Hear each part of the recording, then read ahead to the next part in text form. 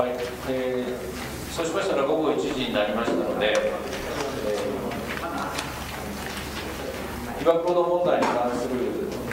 関係の省庁の皆さんとの意見交換、話し合いの場をこれから始めさせていただきたいと思います。えー、お忙しいとはどうもあのご出席いただきましてありがとうございました。またあの本日のこの話の場につきましては、衆議院議員の社民党の、えー、安倍智子先生にお伺いいただきました。えー、りがとうございます。あのすでにあの要請書の方はあの私をしておりますので、えーまあ、後ろの、えー、ホワイトボードにも今日のですね、え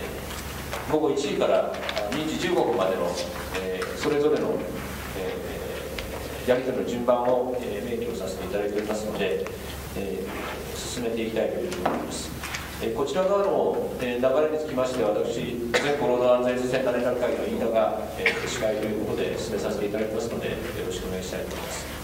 でまあ、答弁いただくご担当者につきましてはですね、えー、所属の省庁と、えー、所属のあの部局ですね、あとお名前も、えー、最初に述べていただいてお願いしたいというふうに思っております。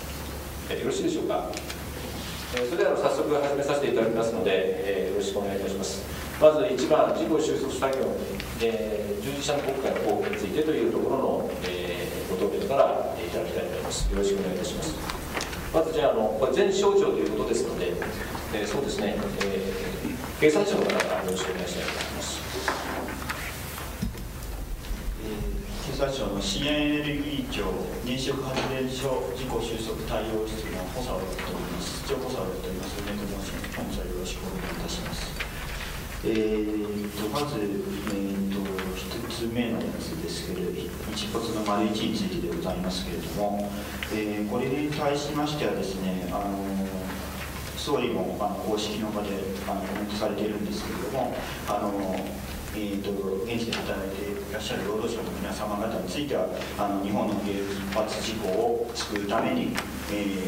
ー、英雄的とも言うべき原始的な行為を行い行っていただいているというふうにえー、総理も言われており我々としても同様の認識を持ってあの感謝申し上げるとともにあとは、えー、働いていらっしゃる皆様方の、えー、より良い労働環境を整えるためにですねあの随時努力していくべきだと認識しております。